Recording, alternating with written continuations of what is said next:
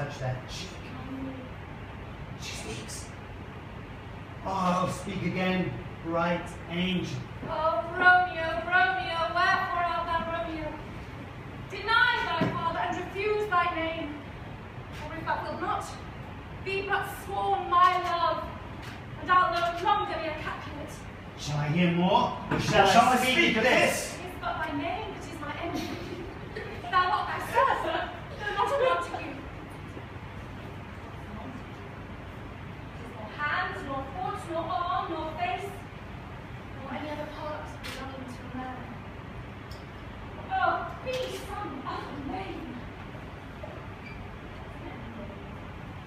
That which we call a rose by any other name would smell as sweet.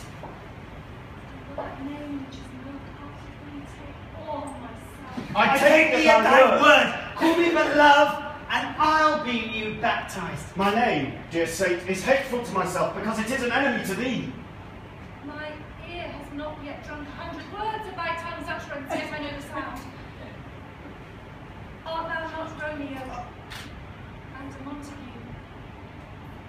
Neither, fair maid, if either thee dislike. How camest thou here to tell me and wherefore?